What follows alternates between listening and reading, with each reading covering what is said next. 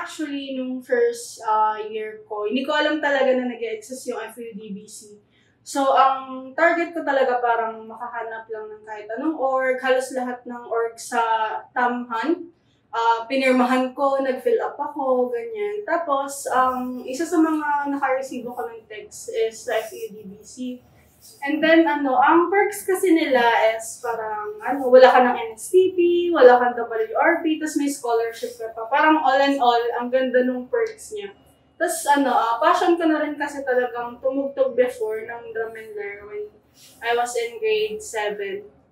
Tapos, uh, parang ngayon, sige, tutuloy ko na lang. Total, maganda rin yung perks. Parang yun kasi yung starter nung pag-build. Pero ano, along the way, nakabuo ako ng friendships. Then, uh, yun, hindi ko na malaya na nag-grow na din ako as a person sa arts uh, yun, naging section leader na ako ng Lyris, ganyan, ako na yung nagtuturo. Dati ako lang tinuturoan ng ilang beses, tapos hindi ko mag-gets. Tapos ngayon, parang sobrang thankful ako na nahanap ko tong org na to.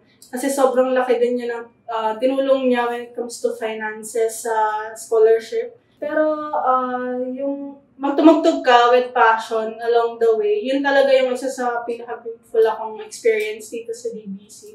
Tapos, uh, kahit na madaming umalis na ng DBC, andun pa rin yung kada um, year, kada year na magpo-promote kami or maghahanap kami ng bagong members. Meron at meron pa din, tapos parang bagong generation na naman ng tuturuan. So, parang magbibuild ka din kasi ng person na magpo-form ng passion. So, masaya siya kasi you're sharing the same passion with another person.